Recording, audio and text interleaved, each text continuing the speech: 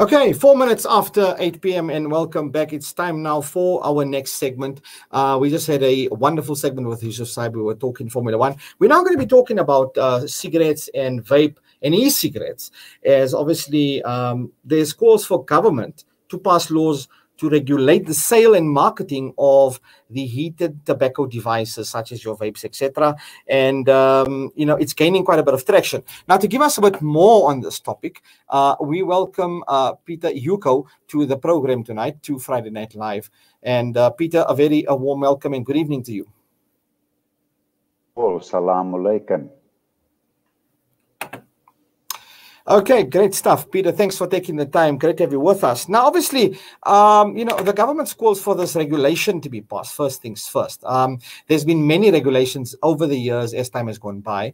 Um, you know, now we're talking about obviously now there's new uh, uh, uh product regulations in you know the era of reduced harm. For example, you know the FDA. Um, you know they were uh, back in 2020, they authorized the IQOS tobacco heating system. All right. I'm sure these are some systems that will have, uh, you know, uh, um, impact or rather will be impacted by such a regulation. Now, um, the control of such, uh, let's firstly start off with this exactly um, the debate on the regulation right now. Where are we standing with it as it currently stands? Okay, let's unpack. There's a lot of questions and a lot of information I can give you in what you've just said. So let's begin yes. with unpacking it. We're not talking about regulations. We're talking about a bill which will, when it's gone through the process of public hearings and parliament and so on, become mm-hmm. an act. Okay. And that's an act of parliament. So it's a basic law. The regulations may later follow from that act, but it's mm. a combination of legislation which will govern everything that happens. But right now, we are busy with a bill that was published. There was a lot of public comment. Changes, I understand, have been made to the bill, a lot of it on recommendations from TAG. And we're now waiting for a process for Cabinet to approve it, of course, delayed by the disaster that we've had for the last 12 months. The Cabinet to approve it so that it can go to Parliament and then go through the process of public hearings. Then okay. we will have new legislation and the Minister will pass regulations defining certain things that the bill and then the act will allow. And then there's more that we can unpack about what you call vape. I'd like to yes. try and alter the thinking about that and the reduced harm. We can discuss all of that because it's not quite as simple as the industry would like to make it appear. Okay. Now, we are talking about potential revenue as well, you know, from taxing of the e-cigarettes. Uh, there's comparisons of your annual cost of a daily e-cigarette versus, you know, uh, smoking of a normal cigarette among South African adults, right? So obviously, uh, we're talking about taxation, etc., as you mentioned. Uh, why do you think right now uh, there's such a call for this as we, you know, in 2021? Why do you think it's now, and why wasn't it passed back in 2020, for example, uh, when you know the you know uh, heated devices like IQOS, etc., were launched. Yes, unfortunately, the legislative process is just slow. It's far too slow for the good of public health. And that's what the bill is about. It's about improving public health, protecting lives, particularly protecting the youth from starting to smoke, from starting to use electronic devices, and all in all, be of benefit to South Africa as a whole. So, what is that whole? If we start taxing electronic devices, which they aren't at the moment, and cigarette tax is a separate issue, and it's too low, in my opinion, that's a separate discussion we can have, and I can okay. explain why and what it should be. But there should be a tax on electronic devices, and we call them in the bill, they're listed as electronic nicotine delivery systems and then electronic non nicotine delivery systems, because some of them just have fluids with flavors and so on, which in theory don't have nicotine. However, it has been found that even in the non nicotine fluids, there is nicotine. So, unbeknownst to you, you could be using one of these devices, sucking on it, which reminds me of the use of vapor, vaping. You're sucking on this device and you think you're just sucking on something that's got exotic flavors and names and in fact, you're sucking on nicotine. And this is the bad thing, especially for the youth. You don't know how easily the youth can get addicted to nicotine, and very quickly, it's highly addictive. Yeah, it doesn't get them enough dosage of their required drug because they now become drug addicts, addicted to nicotine. And, it, you know, heroin, cocaine, nyaope, all those things are drugs. They're addictive drugs. The difference is that all of those are illegal. Nicotine, unfortunately, is one of the legal addictions we have in South Africa. There's a few of them.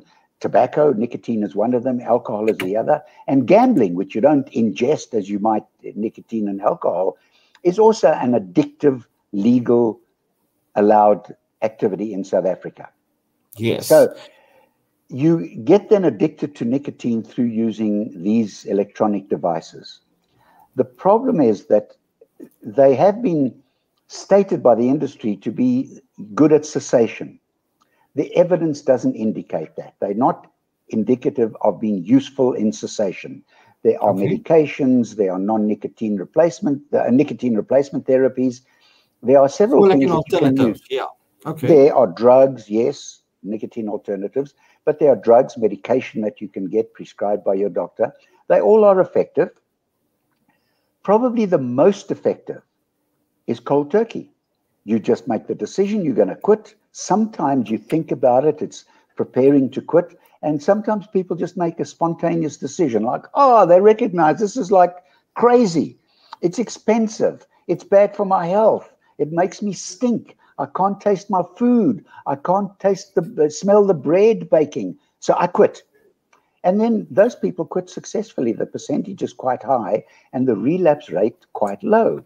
The problem with starting, and it's especially bad for the youth, starting on these electronic devices is they get addicted and then they can't get enough of their now drug of addiction because the devices don't deliver enough and then they go on to combustible tobacco products mainly cigarettes and that gives them their fix of their drug and that's very very unhealthy so there's supposed to be harm reduction which the industry touts high percentages of less harmful well all that information has been shown by credible scientists not paid by the industry, and that's important. The okay. research that is paid for by the industry must be looked at very, very carefully. Independent scientific evidence shows that it's not quite as harmful, as harmless as Uh, as they claim it to be. Now, here's a little bit of truth. Yes, the electronic devices are less harmful because you don't combust, you don't burn anything. So they are a little bit less harmful than smoking cigarettes, but they are not harmless. Look, nicotine in general, at the end of the day, obviously is addictive and is obviously harmful for your health. Now, you've Dangerous mentioned a number of talking points, right? Um, uh, we discussed, obviously, you know, the calls for uh, these, uh, well, this bill or to be uh, uh, into effect to be this regulation, etc., for the sale of the heated devices. Now, um, businesses, vape stores, and um, you know companies that make the vape liquids, the e-liquids, etc., um, they got they're obviously going to be uh, affected by you know once this bill is implemented, if and when it is, by the taxation effect. Now, let's discuss um, you know the numbers behind it because obviously um, you know there's potential revenue that's going to be generated from taxation of the e-cigarette as opposed to that of your normal daily cigarette like your philip morris your bat etc so how is this now going to play out how is government going to say okay we, we're going to put this percentage for you know your normal cigarette in this towards a, a heated device okay so can i first talk about that little phrase the vape shops as you call them yes that is a word that is used by the industry remember that in the early days of electronic cigarettes yeah. The device was, in fact, quite small and looked very similar to a normal cigarette. It had a colored section at the back that was kind of beige that looked like the filter, and then a white shaft. And that shaft had at the end of it a little LED. So when you sucked on it, the LED lit up at the end and it looked like a cigarette. And they were called electronic cigarettes. And what you got out of them, apart from the nicotine, is and you exhaled a little kind of puff of something came out of your mouth. It was very small. And they called that vapor. All and right. so when you use these things, you were the industry created this term vaping. And the problem with it is that it's not true. We call it vaping, but what comes out of your mouth and what goes into your lungs, more importantly, is not vapor because when we use the word vapor, we think mostly of water vapor. Yes. That's the natural reaction, but it's not. It's now scientifically called an aerosol, which is a combination of many uh, the addictive element of nicotine, many poisonous elements of gases, solid, what we call particulate matter, in other words, very tiny bits of solid pieces.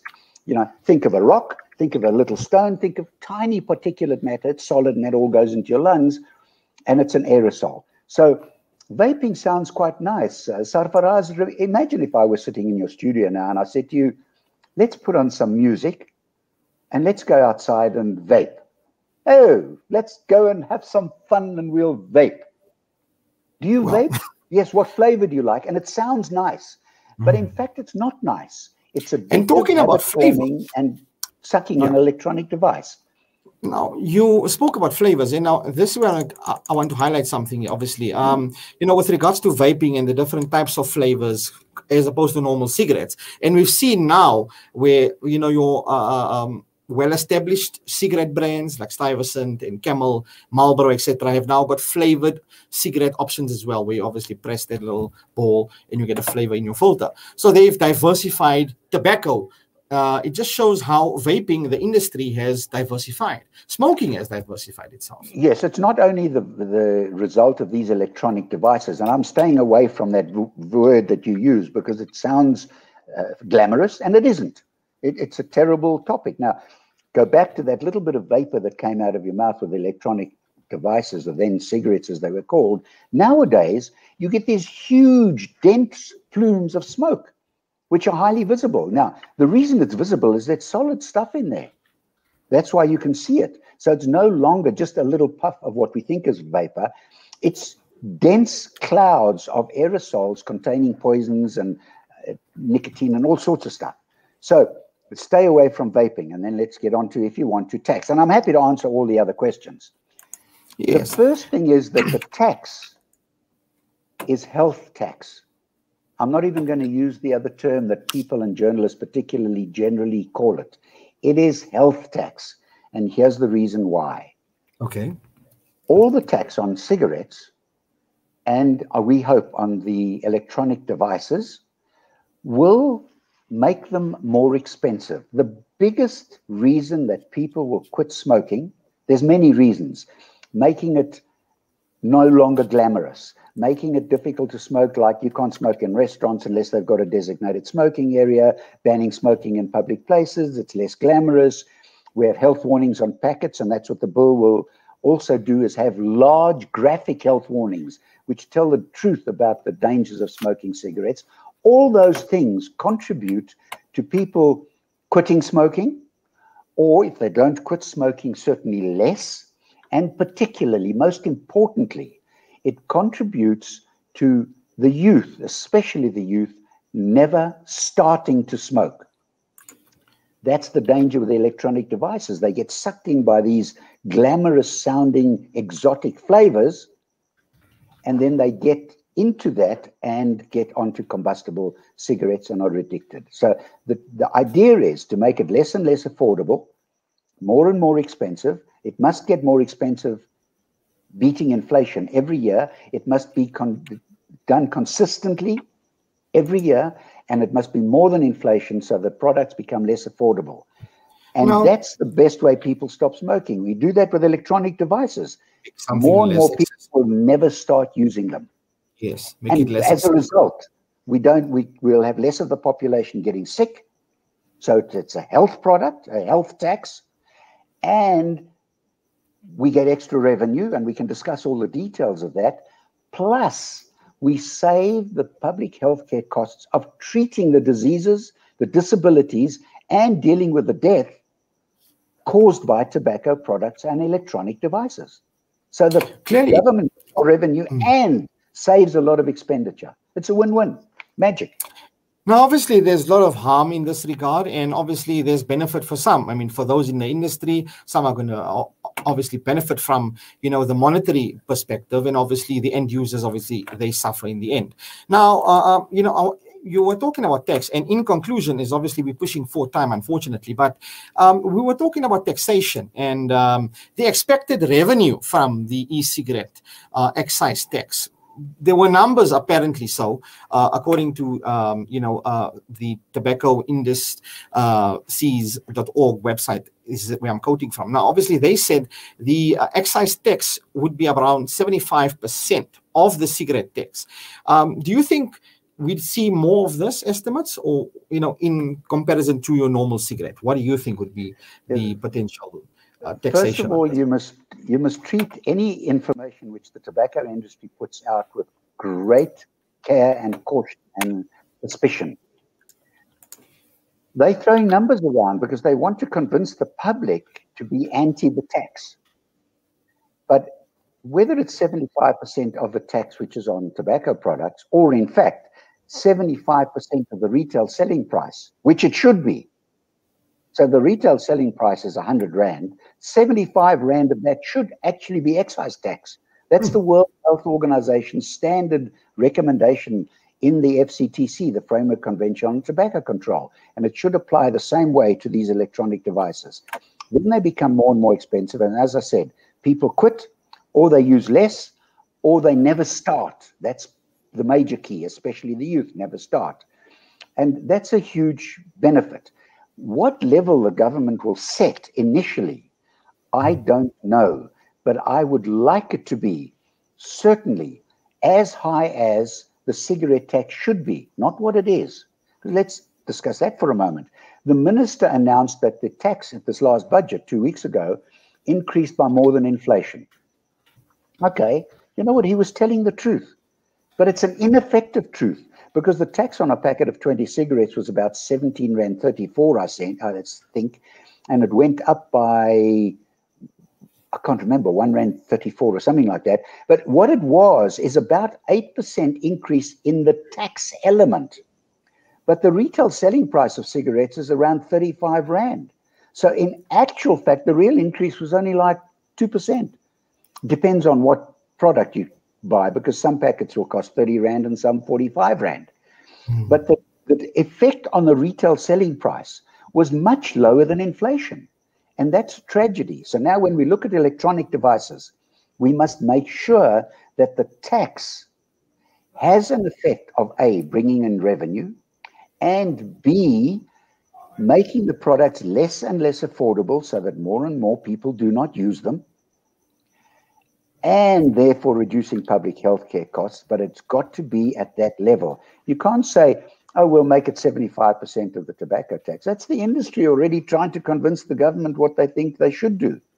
And what we have to convince the government is that what they what their duty is, their primary responsibility is to public health. And in this regard, I'll say always health trumps profits or health trumps trade, to make it sound more poetic, health beats trade every time. It's more important. So, yes, there might be some profits lost. And I doubt if that'll have an effect on the industry because remember, these products are not made by hand by people. Cigarettes are made by machines. Machine, it's not a big deal. There are many, many more benefits to increasing the tax, which is good health tax and good public health policy.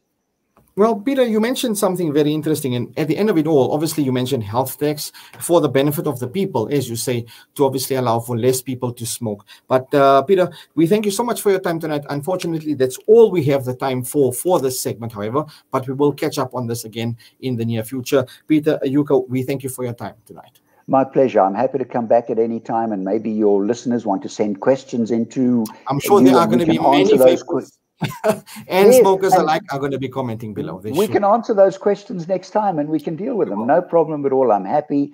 And my objective is, and the objective of TAG is to bring about these public uh, health benefits. Bottom line, we would like to save lives. And less of a youth population smoking. Peter Hugo, thank you for your time tonight. Have a wonderful evening. Thank you. Good night. Bye bye. That's uh, Peter Ucko talking to us. So, uh, vapors, smokers of cigarettes, etc., you can comment below, um, share your thoughts on this talking point. Uh, there's apparently going to be a bill that's going to be passed into effect coming soon, but it's now 25 past 8. That's where we leave it for now. We take a quick ad break, and thereafter, I speak to CEO of OUTA, Wayne Duvenage. We're talking about the e-tolls and uh, the collection to the contract, etc. There and more still to come.